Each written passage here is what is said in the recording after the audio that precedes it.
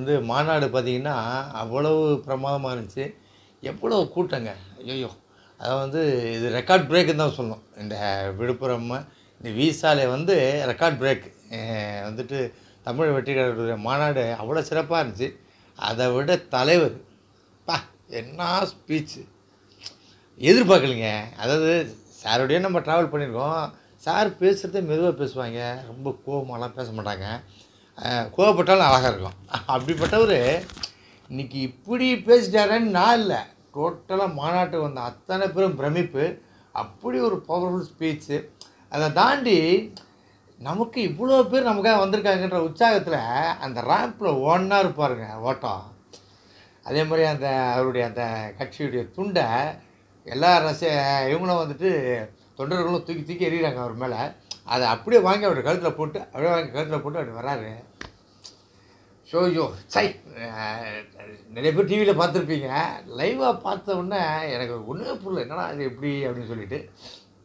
அதே மாதிரி ஒரு ஒரு விஷயமும் இவ்வளோ நாள் பேசலை பேசலை பேசலைன்னாங்க. ஓ இப்படி பேசுவாரா? அப்படின்னா சில பேர் ஆச்சரியப்படுறாங்க. அந்த மாதிரி இருந்துச்சு. அவர் சைடில் சொல்லணும்னா தெருக்கி விட்டார். பிச்சிட்டார் போட்டு ரொம்ப பிரமாதமாக பேசுகிறாங்க அதே மாதிரி அரேஞ்ச்மெண்ட்ஸும் ரொம்ப நல்லா இருந்துச்சு. அதுக்கு வந்து கழகத்தில் இருக்கிற நிர்வாகிகளும் சரி அதே மாதிரி வந்து மாவட்ட செயலாளர்கள் அதை தாண்டி வந்துட்டு நம்ம கழக பொதுச் செயலர் மரியாதைக்குரிய புஷி அண்ணா தான் இந்த வெற்றிக்கு காரணமே.